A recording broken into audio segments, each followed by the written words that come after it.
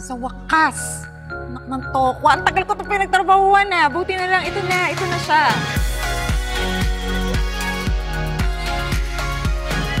Pero syempre, high energy pa ako nung bata pa eh. Ito iba na ngayon.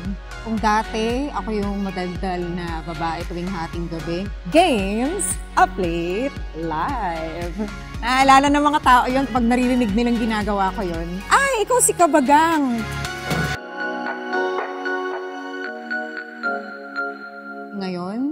Kilala na ako ng tao as a metastatic breast cancer or stage 4 cancer thriver.